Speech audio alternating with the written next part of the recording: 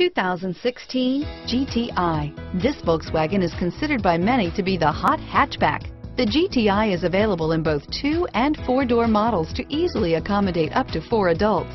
A decent-sized 15-plus cubic foot trunk is well-shaped and easy to load. This vehicle has less than 100 miles. Here are some of this vehicle's great options.